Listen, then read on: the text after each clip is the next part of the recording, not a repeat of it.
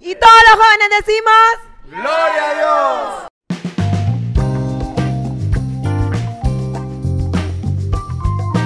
Amén, gloria a Dios. Un saludo muy especial desde aquí, desde TVC. Estamos aquí con un grupo de jóvenes, amén, y vamos a hacer una dinámica, amén. La palabra sol. Había una vez un solecito chiquitito. Eh, se montó al arca de Noé. El sol. ¿Qué más pasó con el arca de Noé? que hay muchos animales y el sol también quería ser un animal. Y ese animal quería vivir en Jerusalén. ¿Cuál animal? El sol. María. Y el sol se llamaba María. Eh, María se fue a Jerusalén.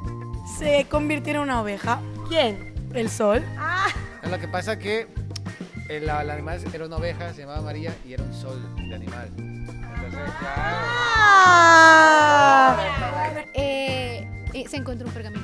Se lo comió. Lo comió porque tenía mucha hambre. ¿Quién se lo comió? El sol. María. Entonces ella no se dio cuenta que en el al lado del pergamino había una espada. Eh, viajó muy, muy, muy lejos y dejó la espada ahí tiradita. Se peleó con alguien, pero le pidió perdón porque era un sol. Sí, ¿y por qué le pidió perdón? Porque era la oveja Sol María.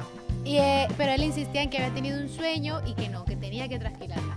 Ah, vale. ¿Quién tuvo el sueño? El trasquilador. no necesitas, no. ¿Y qué sueño tuvo el trasquilador?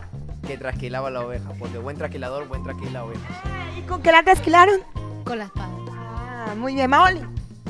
Llegó a la iglesia porque tenía ganas de adorar a Dios y llegó a la iglesia. ¿Y qué más aconteció en la iglesia? Pues que le acompañó el trasquilador. Entonces el, tra- el tra- el trasquilador ya también se, se entregó al Señor y le pidió perdón a la oveja. Entonces, ¿estas dos personas qué? Terminando queriéndose, perdonándose y ayudándose. Ah, muy bien. Y entonces había una. Una vara, una vara en la iglesia. Con esa los nombraron para que se pidieran perdón. La vara se llamaba varón, por como era vara y era para hombres, pues le pusieron varón, así nunca se perdía. Que como tenían que perdonarse, le dijeron, miran al cielo y le cogieron con el varón y le dieron así, toma. Y ahí salieron perdonados. Se perdonaron, todo bien y, y por fin encontraron ellos su propio cielo. Habían más, eh, eh, los hermanos de la iglesia le dijeron que, que tenían que hablarlo, no podían dejarlo. Que también había otros hermanos que decían que nomás la matase a la pobre ovejita, que tenían que comer. Ah, interesante, pero no estábamos hablando del perdón también. Pero después lo perdonaban, después le perdonaban, tranquilo.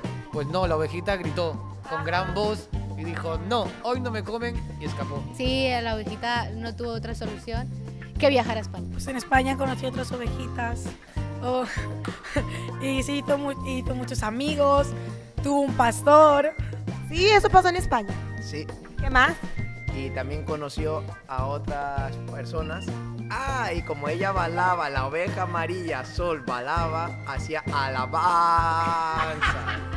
¿Y qué más pasaba con la alabanza? Que la ovejita encontró un lugar en el que podía alabar al Señor. Un niño que escuchó tan, que cantaba tan bonita la oveja que le pidió que le enseñase a cantar. Ah, y entonces. El niño también aprendió. El problema es que el niño no se dio cuenta que le enseñaba una oveja.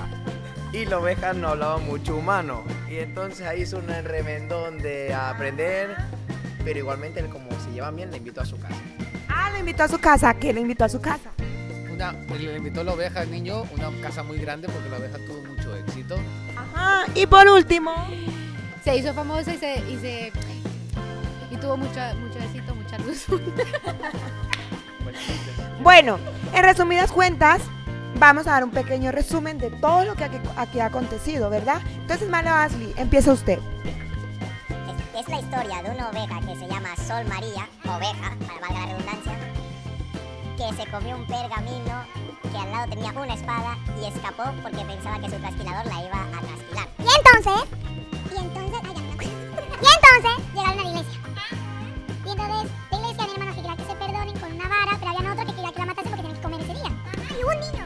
Sí, un niño que encontró la oveja porque había escapado de su trasquilador y había dejado España. Y se encontró un niño que cantó junto con el niño de la mancha y la oveja se hizo famosa. Y la última palabra. Luz. Y que la oveja fue luz para todo el mundo.